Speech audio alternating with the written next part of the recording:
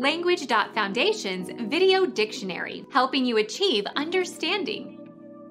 The act of drawing or hauling something. Draw, haul.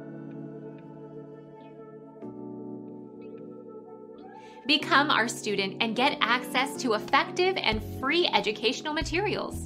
Subscribe to our channel to become a part of our growing community and to learn English effectively.